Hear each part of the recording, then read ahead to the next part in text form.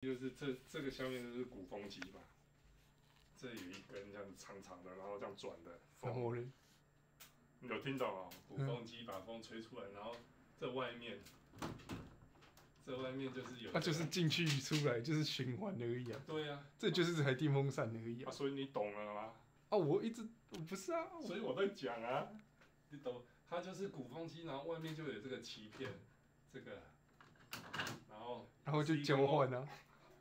一个 “mo” 字形，然后鼓风机在中间吹，好，空气是从这里进去，然后这个就是一排一排的冷媒经过这里，然后它冰，它是冷的，很冰的，所以风进去马上热风变成冷风，然后再从这里吹出来，然后这个冷媒，因为你热风进去之后，冷媒就会温度升高嘛。然后它有一一个是冷媒进来，一个是冷媒出去。那出去在哪里？啊，出去之后就就一起进来，一起出去嘛。哦，是啊，然后就是带到外面的室外机，然后它也是经过那个一压排一排的，一排一排的那个。那跟我的那个电脑的那个散热是一样的，就鳍片，然后风扇去吹，然后散热。那跟我电脑那个是一样的冷了之。后冷了再进来，它就是一直循环就对了。那不是跟电脑的差不多对啦对啦，是吗？你的电脑不是冷冷媒啊，它所以它我是属于冷啊